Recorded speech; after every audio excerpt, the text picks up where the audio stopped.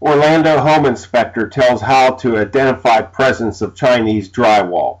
Identification guidance for Chinese drywall is based primarily on presence of metal corrosion in homes. Threshold inspection is to first find signs of corrosion and evidence of drywall installation within the time period of 2004 to 2009. Chinese drywall includes chemicals and compounds not found in drywall from other areas. The gases found in Chinese drywall, including strontium sulfide and hydrogen sulfide, are corrosive to copper and other metals. Chinese drywall reportedly emits sulfur fumes that produce a rotten eggs odor.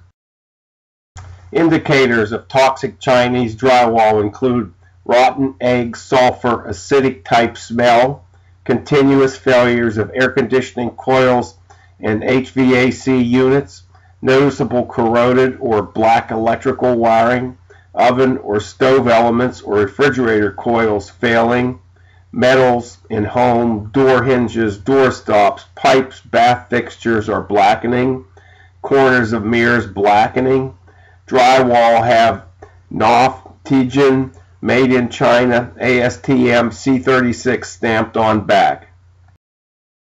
The bottom line indicator should be, does my home or building have any corrosion? Call me at 407 834 7714.